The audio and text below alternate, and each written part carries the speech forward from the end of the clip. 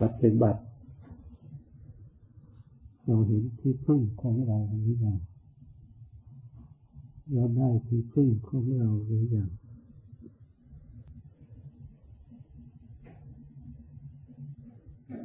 เพราะพระพุทธเจ้าที่พึ่งของเราไม่มีอันนี้เราต้องศึกษาเราต้องเข้าใจ อาจเราเข้าใจผิดว่าเรามีที่พึ่งแล้วเรามีร่างกายเป็นที่พึ่ง ที่อาศัย เรามีอาหารการกิน เรามีเครื่องใช้เครื่องสอยสะดวกสบาย เรามีเงินทองจับจ่ายเราก็เลยนึกว่าสิ่งเหล่านี้เป็นที่พึ่งของเรา เราก็เลยฝากความสุขไว้ ในเครื่องใช้ต่างๆในการที่เรามี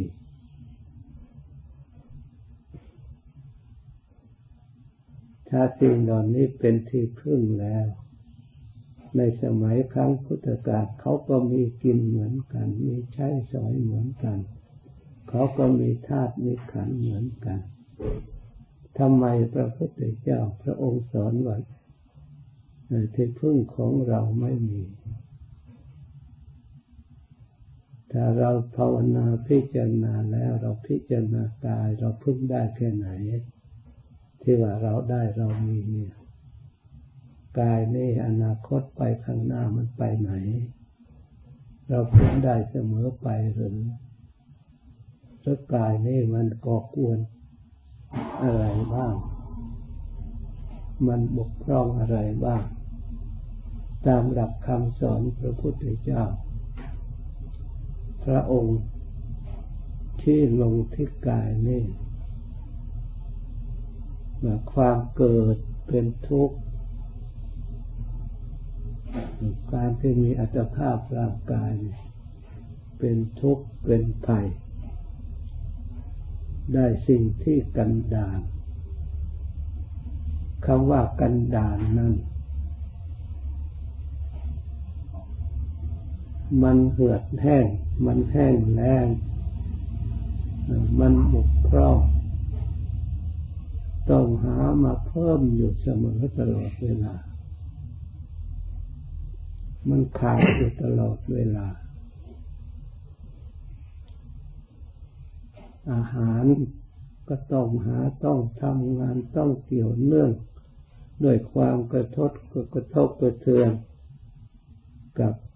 สิ่งอื่นกับสัตว์อื่น สัตว์อื่นพลอยเดือดร้อนกับเราไปด้วยเพราะเรามีที่ว่าเราพึ่งได้คือขัน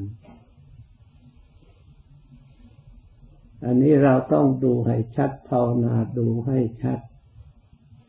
จิตใจไม่สงบก็เพราะเราหลงสิ่งเหล่านี้แหละจิตใจเศร้าหมองก็เพราะเราไม่รู้อันนี้แหละนึกว่าเป็นที่พึ่งของเรา ได้อย่าง ถ้าหากเราหลงเรามัวเมาเราปล่อยไปตามสิ่งที่มันเปลี่ยนแปลงเกิดดับตลอดเวลาอันหนึ่งหมดไปแล้ว ลอดเวลาหลง ถ้ามันหมดไปด้วยดีไม่เจ็บไม่ปวดรวดร้าวไม่ทำใจให้เศร้าหมอง มันก็ไม่มีปัญหา มันมีปัญหาที่จิตใจของเราไม่อยากให้มันเป็น อย่าให้มันเป็นไปตามที่เราต้องการ เมื่อมันไม่เป็นตามที่เราต้องการเนี่ยเราก็ต้อง เกิดความอยากขึ้นมา เมื่อมีความอยากแล้ว มันก็อยู่นิ่งไม่ได้ มันก็ต้องเหนื่อยต้องทุกข์ทุกข์ของเราทั้งหลายที่เกิดขึ้นในตัวของเรา อยู่ตลอดเวลาเนี่ย มันเกิดขึ้นด้วยอาศัยอาการอย่างนี้ เรามากำหนดรู้ความจริงข้อนี้ยาเรายอมรับคำสอนพระสมมาสัมพุทธเจ้าพระองค์ทรงตรัสรู้จริง มีอยู่จริงเห็นได้จริง ในตัวของเราเอง เราดูตลอดเวลาไปเห็นตามที่พระองค์สอน อยู่ตลอดเวลา เราเกิดศรัทธาความเชื่อ เมื่อเกิดความเชื่อแล้วพระพุทธเจ้าสอนไม่ให้ยึดมั่นถือมั่น ว่าเป็นตนเป็นของตนเป็นของเรา เป็นแต่เพียงอาศัยชั่วคราวถึงแม้ว่ามันจะเปลี่ยนแปลงไปอย่างไร เราก็ถือว่าเป็นธรรมดา พระพุทธเจ้าให้ฝึกจิตใจอย่างนี้เช่นว่ามีความแก่เป็นธรรมดา อย่าไปทุกข์เพราะความแก่เกิดขึ้นในขันอย่าไปเศร้าใจเสียใจ อย่าไปตกอกตกใจกลัวจะเป็นอย่างนั้นอย่างนี้ เรามีความเจ็บไข้เป็นธรรมดา อย่าไปทุกข์เรื่องโรคเรื่องภัยต่าง จะให้มันเกิดที่ไหนให้มันอยู่ที่ไหน เพราะร่างกายนี้เป็นที่อยู่ของโรค ไม่ว่าสัตว์ไม่ว่าคน แม้แต่ต้นไม้ก็ยังมีโรคภัยเบียดเบียนซึ่งต้นไม้ไม่ได้ทำอะไร ไม่ได้เบียดเบียนใครก็ยังมีผู้สิ่งที่มาเบียดเบียนเมื่อเราไปเห็นเป็นทั่วไปอย่างนี้ไม่ใช่เฉพาะเรา ความแก่ก็ไม่เฉพาะเรา ความเจ็บก็ไม่เฉพาะเรา มีอยู่อย่างนี้ เราก็ควรถือว่าเป็นธรรมดา และไม่ใช่มีเมื่อเราเกิดมา แต่ก่อนเราเกิดอีก แต่ไหนแต่ไรมามีอยู่อย่างนี้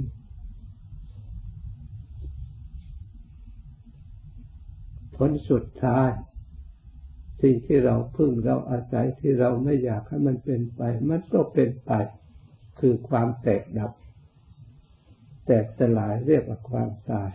นี่มีอยู่ในกายนี่อยู่ในตัวเราในขันนี่เนี่ยที่เราในยึดครองอยู่นี่เพราะข้อนี้เองพระพุทธเจ้าจึงสอนว่าที่พึ่งของเราไม่มีพึ่งร่างกายก็อย่างนี้แหละมีแต่ชราภาพมีแต่เจ็บป่วย พึ่งทรัพย์สมบัติที่เราหามาก็โดยความเหนื่อยยากลำบากแล้วไม่ใช่มาสอยก็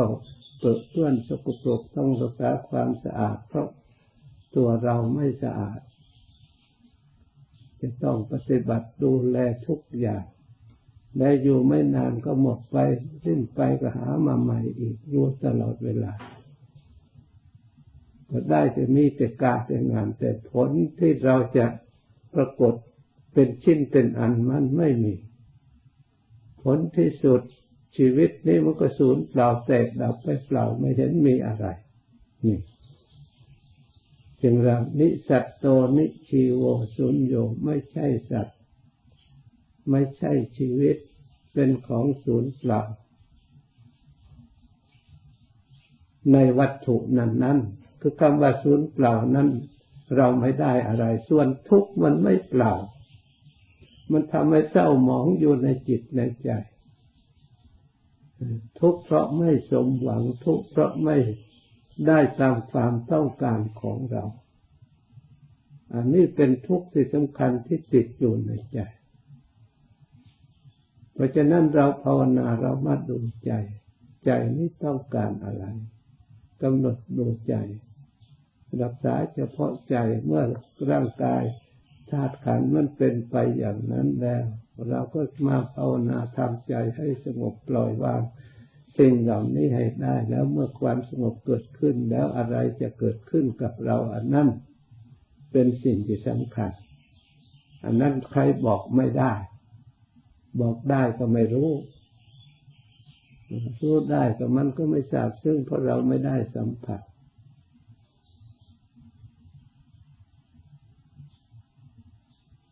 ฉะนั้นเรารู้ได้โดยเราปฏิบัติตามทำจิตตามที่ท่านบอกแล้วให้จิตสงบ ปรากฏขึ้นในจิตใจของเรา ปล่อยวางสิ่งเหล่านั้นขาดจาก ความยึดความถือความเกี่ยวข้องเมื่อเราเห็นว่าสิ่งเหล่านี้ไม่ควรยึดมั่นตามคำสอนพระพุทธเจ้า ไม่ควรยึดว่าเป็นเราและเป็นของเรา เราหัดปล่อยวางที่มันยังมีอยู่อย่างนี้แหละ ถึงเวลานั้นเนี่ยมันบีบบังคับทุกกระสับกระส่าย อยู่ไม่ได้ ทนไม่ได้ เราจะปล่อยวางก็ปล่อยวางไม่ได้ เพราะเราไม่ได้ฝึกเหมือนกับเราไม่ได้ท่องหนังสือเรียนหนังสือนี่แหละ เห็นแล้วก็อ่านไม่ออก เพราะเราไม่ได้เรียนหนังสือตาเห็นอยู่ มีอยู่ไม่ใช่ว่าไม่มี หรือถึงได้เรียนรู้แล้วแต่เราไม่ได้ท่องจำถ้าสวดไม่ได้ จะต้องอาศัยถือหนังสือสวดถ้าเราได้ท่องได้จำไว้ในใจแล้วไม่ต้องหนังสือก็ไม่เกี่ยวอะไรไม่เกี่ยวจะลึกอยากสวดเมื่อไหร่ก็สวดจะลึกอยาก ได้เมื่อไรก็ได้ นี่มาเป็นสมบัติของใจ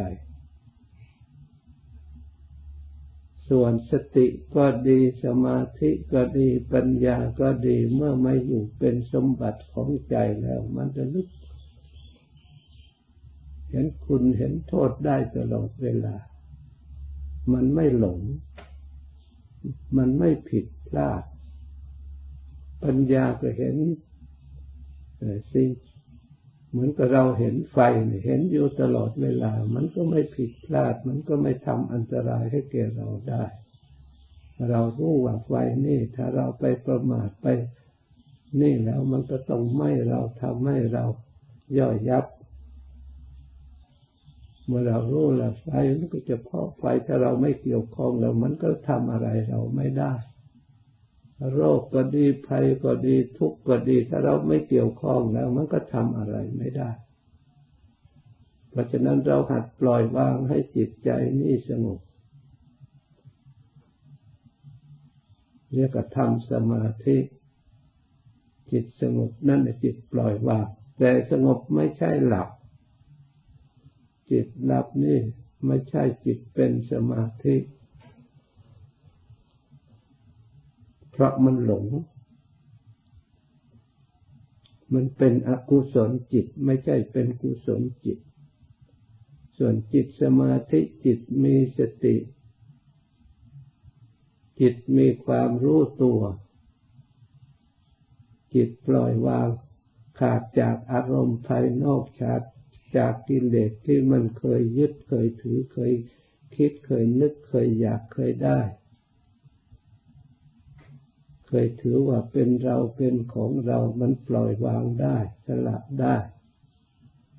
มันอยู่ในธรรมชาติของมันตั้งมั่นแน่วแน่ถ้าจิตได้ไปถึงขั้นนี้แล้วมันก็เจอ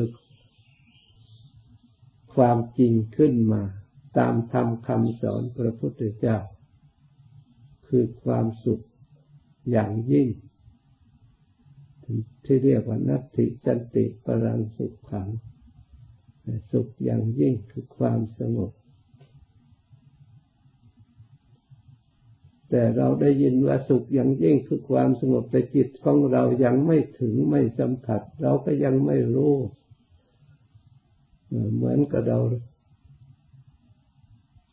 เรารู้ว่า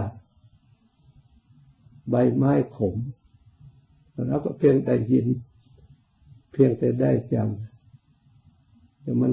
ขมหลักษณะไหนแค่ไหนเปรียบเหมือนกับขมอย่างไรที่เราเคยเห็นมาแล้วเราไม่รู้ เพราะไม่เคยถูกต้องเลยผลที่สุด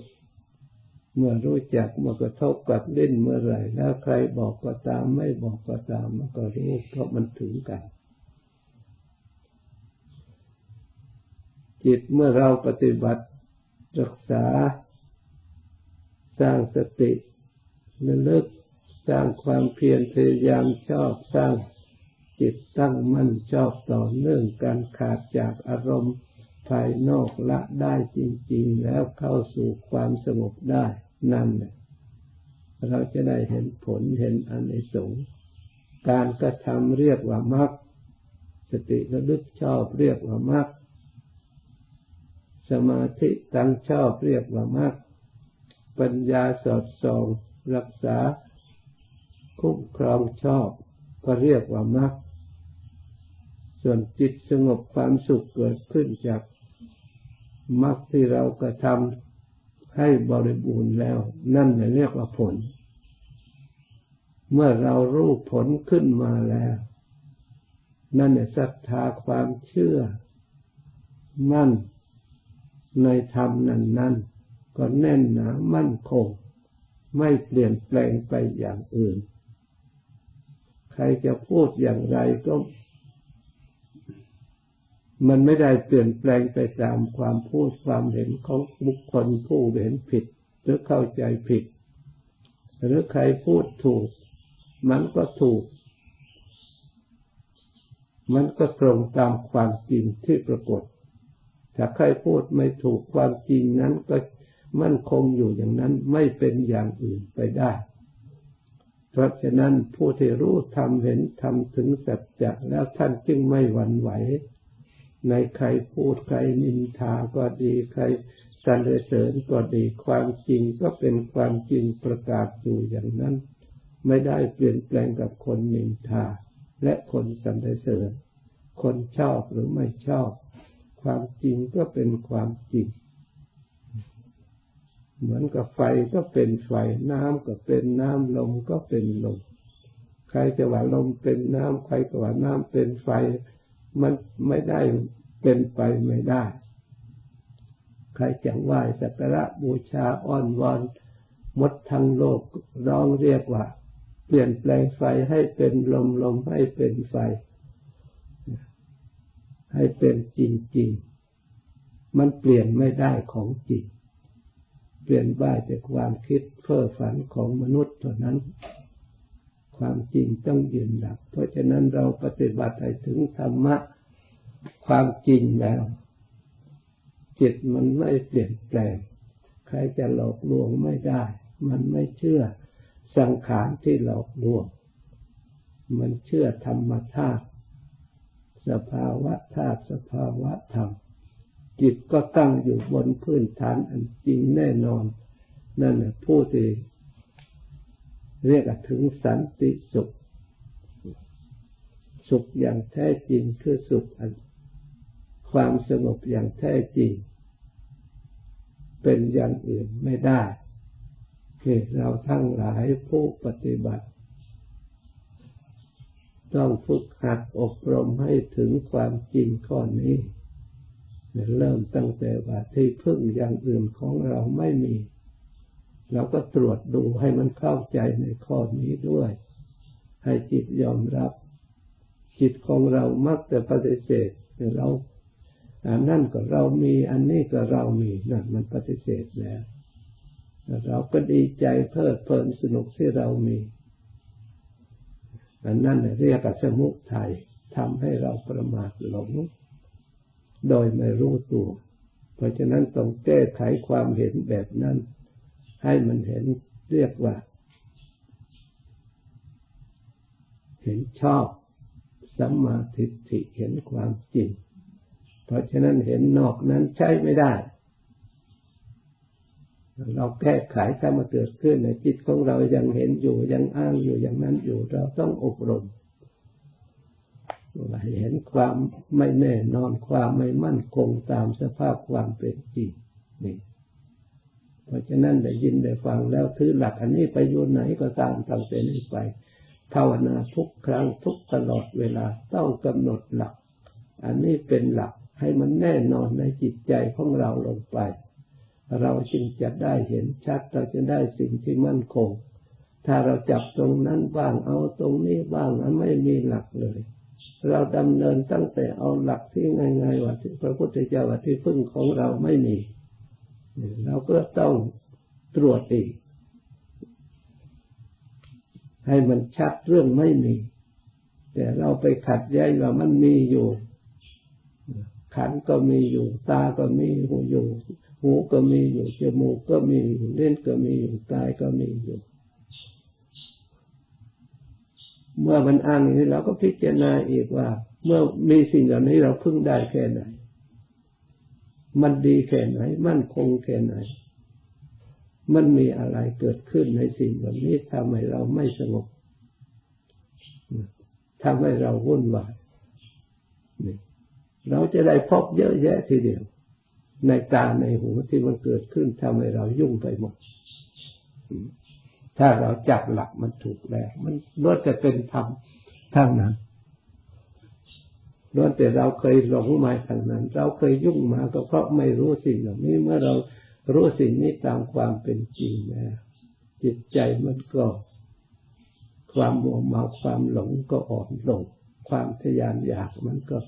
ไม่ค่อยมีกำลังที่จะอยากแล้ว ไม่ทราบจะอยากไปทำไม